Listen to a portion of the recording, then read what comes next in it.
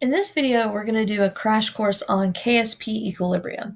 Now, this is part of the general equilibrium um, unit, so you will be tested on this whenever you take the general equilibrium test as well. So where I want to get started here is just a quick introduction on KSP. So what KSP stands for is solubility product equilibrium. And what that means is basically we're taking a solid and we're dissolving it in some solvent. So the thing that we are dissolving, that's called your solute, S O L U T E. And the thing that we're dissolving the stuff in, that is known as your solvent, S O L V E N T. So that's what we're dealing with solubility. Now, at the very beginning of the class this year, we talked about solubility rules. This was in our stoichiometry unit. And so, just a quick review on those solubility rules. Um, group 1 metals and nitrate compounds. So, when a group 1 metal and a nitrate is in a compound, we classify that as soluble. So, what the term soluble means is basically when I put that solid into my container here, it will break up into its ions. And when it breaks up into its ions, we call that aqueous. So, it's soluble if it does break up into its ions. Strong acids and strong bases also fall into this category as being soluble. So these guys are always soluble. They will always break into their ions.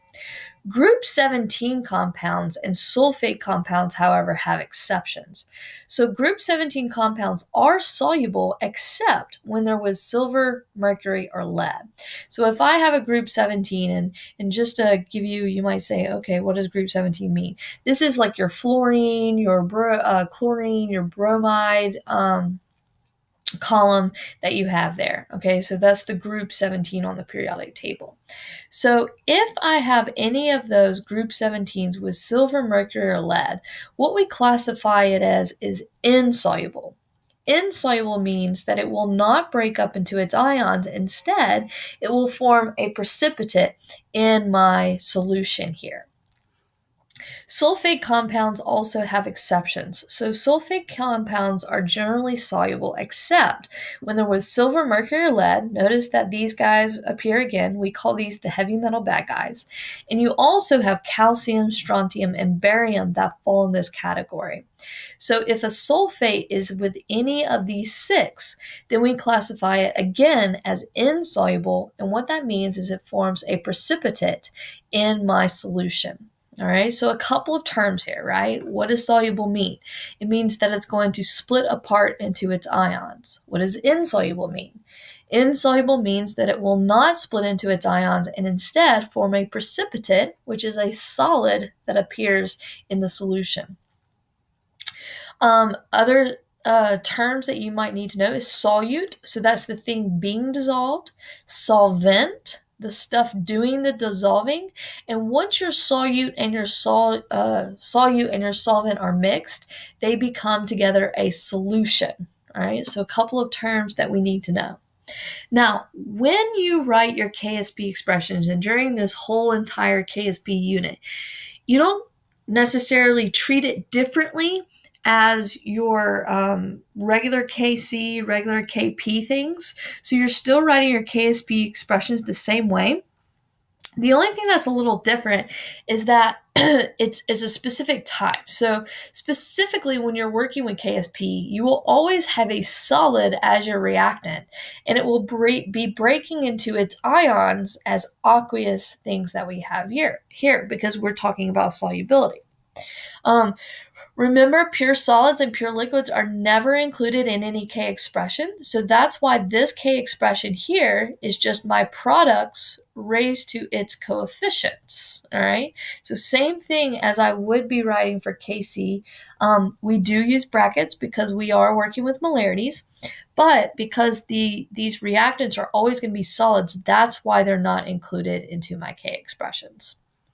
Now, also, um, similar but a little bit different than um, uh, the KC expressions. When we solve for x, so let's say we have a rice chart going on here. And I'm going to fill out a rice chart real quick. These solids do not um, pertain in the rice charts at all. Okay, initially you always have zero for your ions for your products. So this one here will be plus 3x. This one here will be plus 2x. So the way that you work your rice charts are exactly the same way as you would work your um, your rice charts for just general equilibrium. So the Kc, the Kp, and all of that. So you start with zero initially. The three is from the coefficient. The two here is from the coefficient. You have your x expressions. The only thing that might look a little bit different is that since I do have a solid here, it is not included in any of my rice chart, any of my K expressions. Now, when I solve for x, okay, in x for just regular kc we just said hey this is like the factor that is changing by. Well it has a specific name when we're talking about ksp and that name stands for or that x value stands for solubility. Now solubility can be represented in one or two different ways okay?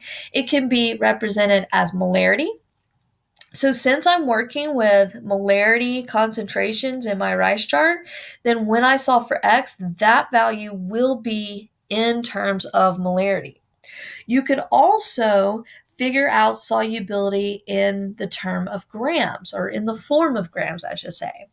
Now, if I'm trying to figure out this value of x, meaning solubility in grams, what I will have to do is once I solve for x, let's just say x is equal to 1 times 10 to the negative 3 molar. I'm just giving it a value here. If I solve for that, all right, you see how it's already in molarity when I solve for x. So that would take care of number one. But if they don't want solubility in molarity and they instead want solubility in grams, I just referred to stoichiometry stuff that we've already been doing before. So molarity will have to first get into moles. So we say molarity times volume in liters would be equal to moles. And once I figure out how many moles that I have, all I have to do is use my molar mass, which is grams per mole, and that will give me my answer for solubility X in terms of grams. Now, one question you might be asking is all right, well, what molar mass do I use? Do I use the phosphate ion, the calcium ion, or do I use this solid? Well, solubility means the molarity of your solute or the grams of your solute. So your solute is the solid that you're starting with. So you use the molar mass of this solid here. Okay, so it's very easy to transfer between the two. What if they give me grams and I have to figure out um, and plug in X to maybe solve for a K or something? Well, I would use grams, I would convert to moles, convert from moles to uh, molarity by dividing by liters, and then that would give me the value of x there. So I've seen this question lots of different times, especially in free response. Know how to convert between molarity of solute for solubility to grams of solute for your solubility. Know how to convert those back and forth. And don't forget, obviously, your stoichiometry and your rice chart. Now, a couple of other things that I've seen here. Um, this is just like when we were talking about stuff that's given for your rice charts um, in the KC and KP portion. They could A, give you a K value.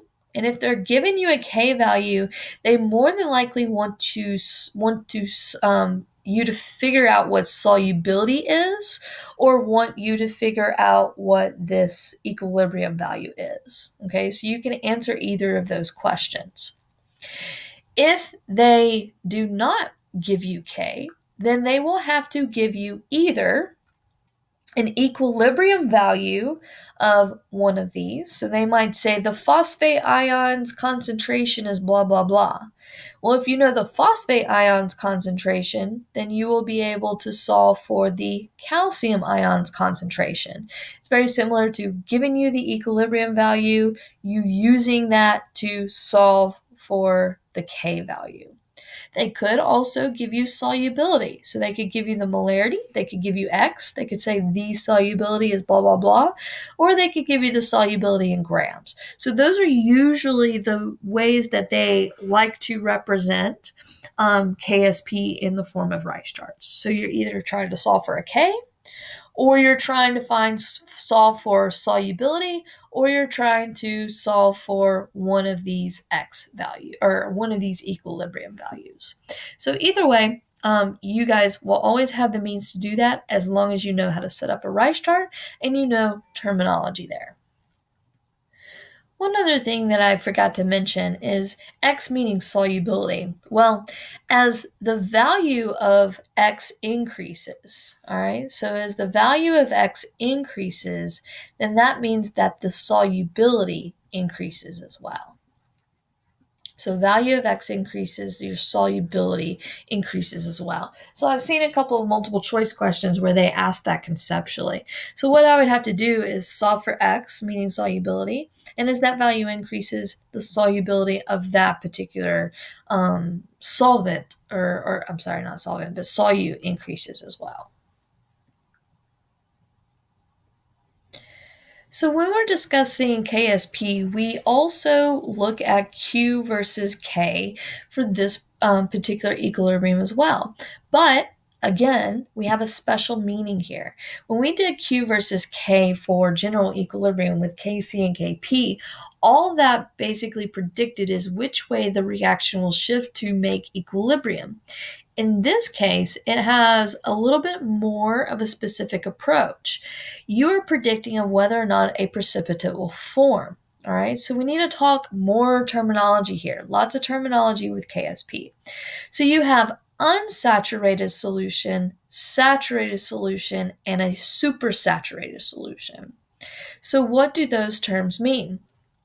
An unsaturated solution means that you have not reached equilibrium yet. You can dissolve more of that solute. So basically, your reaction still needs to go towards the products in order to achieve equilibrium. In the center here, you see a saturated solution. A saturated solution means that your Q, which is your initial values, is equal to K all right? Q is equal to K. So you're at equilibrium if it is saturated. What that means is you're kind of at a threshold where I've that solvent has held as much of the solute as it can. If it gets any more of the solute inside the solvent, then you will form that precipitate there. A supersaturated solution means that you've gone past equilibrium. If you've gone past equilibrium, you need to your the reaction is going to shift towards the reactants. And remember that these are your ions here, these are your aqueous on the product side, and this is your solid that's on the reactant side. So I'm making more ions here for unsaturated. I am forming a precipitate here if it is supersaturated. So a precipitate forms if I have something that is supersaturated. So how do I use this knowledge and use K to figure out if a precipitate will form or not? Well, Q, just like Q before, is the initial values. So I use the same equilibrium um, expression, but instead of K, I'm going to use Q. Q is initial values. So if Q is greater than K, so if Q is greater than K, then that means a precipitate will form. You have what we call a supersaturated solution. Know this terminology, be able to discuss that in the free response. So if Q is greater than K, you see, just like before, I'm going to have to shift to my K value. I have a supersaturated, and yes, a precipitate will form only then. If Q is equal to K, supersaturated, uh, I'm sorry, not supersaturated, but just saturated, and that means I'm at equilibrium. And if Q is less than K, then that means that the reaction will need to shift towards my ions to reach equilibrium. So therefore, I can dissolve more of my solute there. Now, there are some harder questions dealing with Q versus K. So I have a little side note here. Don't forget the dilution equation. So what that means is if they give me um, a volume, so let's just say 30 milliliters of a certain molarity, so 0.1 molar of whatever. All right, let's just call that A. And they say that we're mixing it or we're adding it to, let's say, 50 milliliters of um, 0.2 molar B. What I'm doing is I'm mixing two solutions. So one thing is coming from one solution, the other is coming from another solution. Whenever I'm mixing or adding two solutions, I first have to figure out my new molarities. So new molarities for both ions, okay? In order to do that, I use the dilution equation, which is M1 V1 equals M2 V2. Now, let me explain what all these mean. M1 means the initial molarity. So I would plug in, let me get a different color so I can point it out. I would plug in this 0.1 molar right here for M1. V1 means initial volume that I have before I mix. So this first section here means before I mix, before I add them together. So M1 and V1 will be on this side. Now, M2 is the new molarity that I'm solving for, and V2 would be the new volume once we've mixed. So once we mix these two, I have 50 milliliters and 30 milliliters, so that will be a total of 80 milliliters there. So I'm going to solve for M2 for A. I'm also going to solve for M2 for B. And those values are what I'm going to plug in for my Q expression. Okay. The only time when I have to do this, and they like to give this to you a lot in the free response, is if it says a molarity and a volume of something is mixing or being added to a molarity and volume of something else, and then asking if a precipitate will form. That is the only time when you have to use this dilution equation before you can plug it into the Q expression. So I hope that um, makes sense to you guys. On this slide, I want to talk about Le Chatelier with KSP and something called the common ion effect. So we already know about temperature.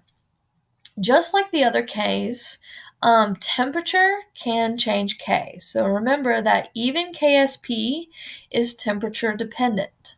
Okay, so let's talk about. Um, I'm going to give you some examples. So the mathematical approach isn't used yet. Just write some examples here.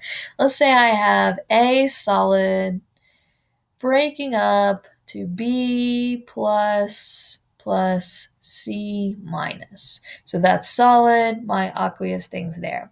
Let's say that this reaction is endothermic. So endothermic means heat is a reactant. If I increase temperature, my reaction will shift to make more ions. So they can ask this in terms of will it be more soluble or will it be less soluble? Anytime I am shifting towards my ions, you are always going to be more soluble. Right, your solution will be more soluble.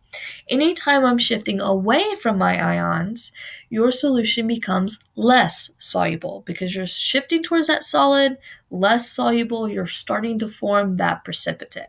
Okay, so temperature is um, dependent on whether or not you have an endo or exothermic reaction. If it was exo, heat would be on my product side. and You guys should be good with this. If you have questions on the temperature effect in endo and exo, you should watch the general equilibrium Le Chatelier video.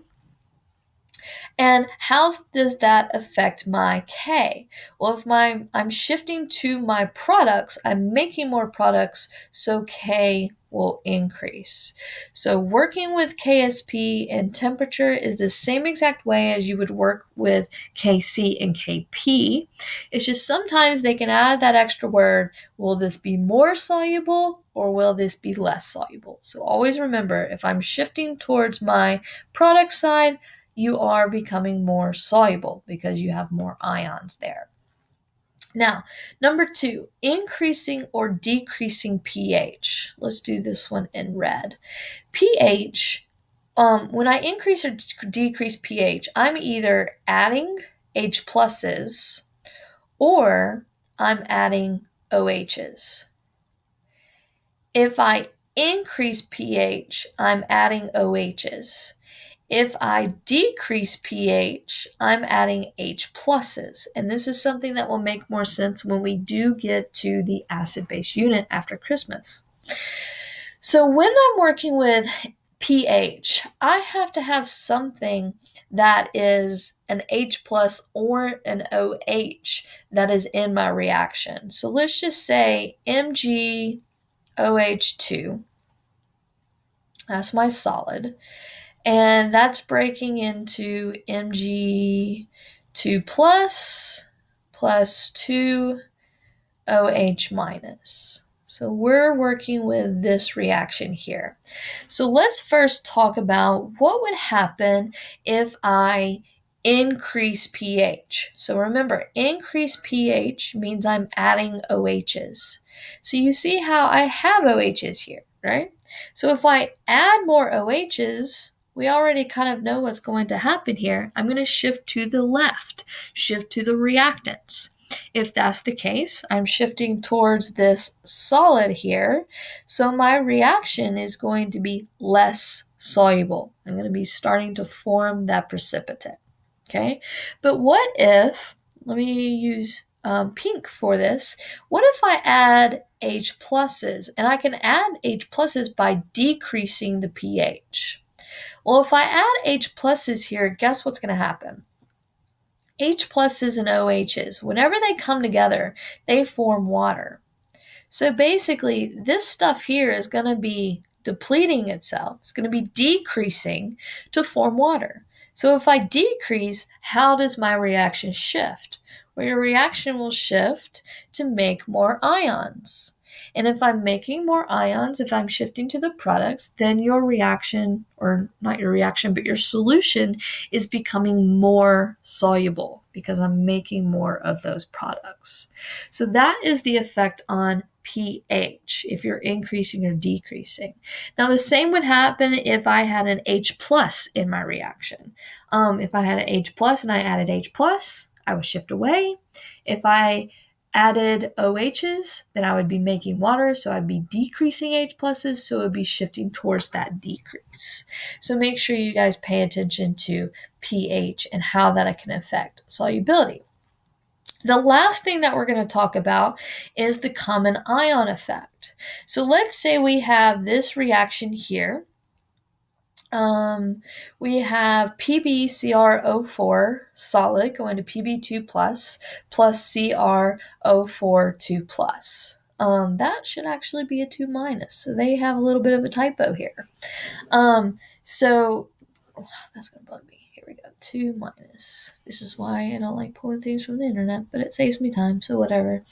Um, so if I increase PB, all right, if I increase this value here, what that is going to do is going to shift towards my solid. Okay, this is something known as the common ion effect. Now, it might not be just Pb2 plus that they add, they might be adding PbCl2 to that.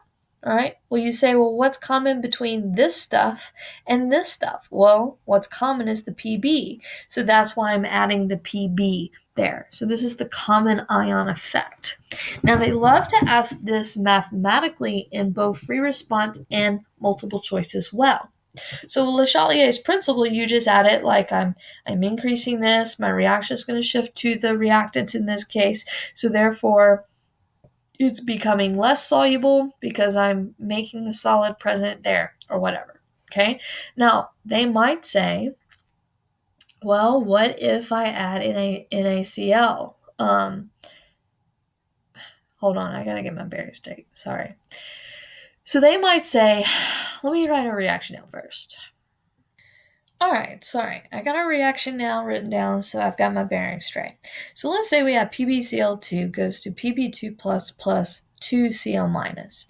And let's say that we want to add some amount of NaCl to this whole solution. All right, and we want to know what will the concentration of Pb2 plus be.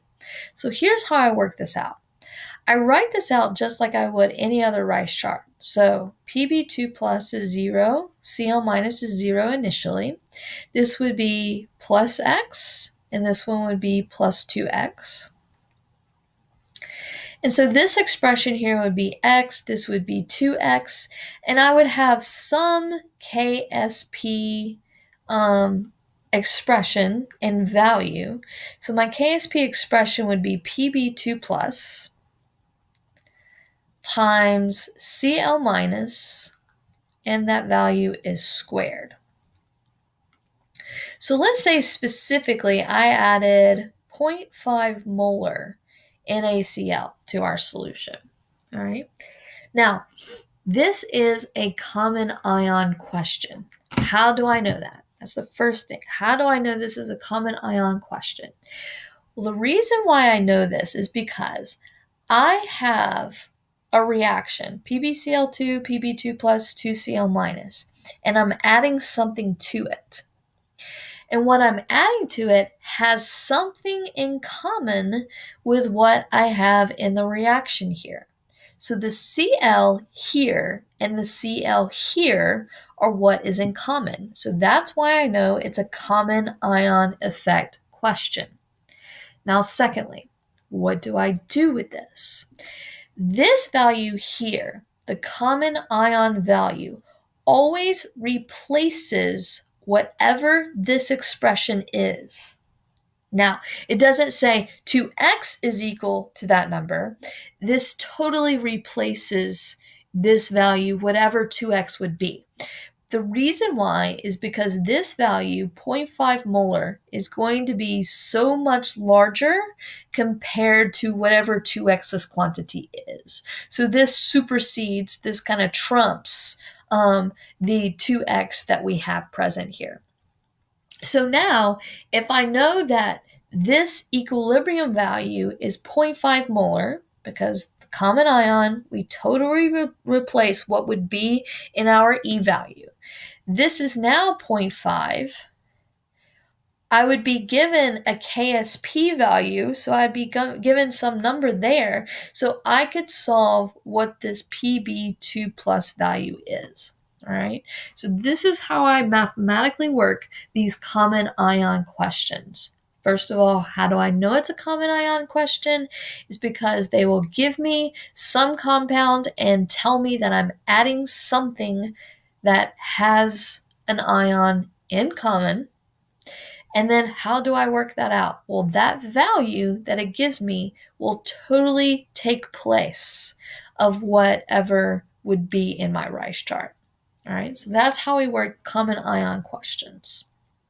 So we're on to our last slide now, and I call this the solubility race. But what they do is they give you two different compounds. So in this case, they're giving me PBI2 and CUI. So they're telling me I have two different compounds and they will give me two different KSP values as well. So they'll give me this compound with its KSP value and this compound with its KSP value. And I might also give you the concentration of PB2 plus and the concentration of Cu plus. So they're giving you lots of information here. And they say, all right, well, if that's the case, which one of these guys is going to precip- pre- precipitate first? So here's what you do. In order to answer this question, which one of these will precipitate first? They might be saying, hey, well, what's common between these? Well, we have I here and we have I minus here. Okay, so the common thing between these is I minus.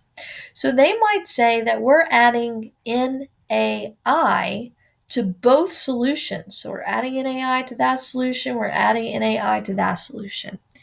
And then that gets the solubility race going. We're trying to figure out which one will cause the, the precipitation first.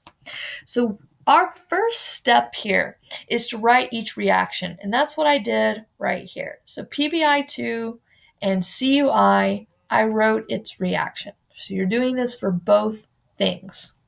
Step two, you write each KSP expression. So this is step two. I wrote the KSP expression for that one. I wrote the KSP expression for that one. Step three, I solve for the common ion. So again, I said that I was given the KSP expression or I'm sorry, not the KSP expression, but the KSP value, and I was given PB2 plus's equilibrium concentration. I was also given this KSP value and this equilibrium uh, concentration. So what I'm going to do is plug that information in and solve for I minus for both of these. Now don't forget that this one's squared because there's a 2 there. So it's easy to forget that you're squaring those values and all that. Just make sure you pay attention. So step 3 is I'm solving for the common ion for both of them. Now I'm going to compare these two values. And once I compare those two values, whichever is in smallest concentration, that is the one that will precipitate first. So the smaller common ion concentration will precipitate first. Now, rather than just memorizing these steps and why you're doing it, let's understand, or, or memorizing the steps and you know trying to figure out what to do. Let's let's understand why we're doing this. When I write a KSP expression and when I'm solving for this concentration of I, that is the amount of I needed to become saturated. Now, if you remember from previous slides, saturated means that you have reached equilibrium. If you've reached equilibrium, any amount over that quantity will then form a precipitate. So basically, you're solving for how much I need to saturate your solution here, how much I you need to saturate your solution there. And then, whichever is the smaller amount, if I just put a pinch more than that quantity, then that's when your precipitate will be formed. So they can also ask this in terms of what concentration would it be if I need to form a precipitate? And your answer would be any concentration over the quantity that you find here. So any concentration over the quantity you find here will tell me how much iodine that I need in order to form a precipitate. So I call this the solubility race. That's definitely not the technical term, but um, they like to ask this question in some free response. So KSP really isn't that difficult. It is very similar to KC and KP. The only differences that we have here is that some terms are a little bit different and we have lots of new definitions we have to remember and be able to incorporate. So I hope this was helpful and good luck with KSP.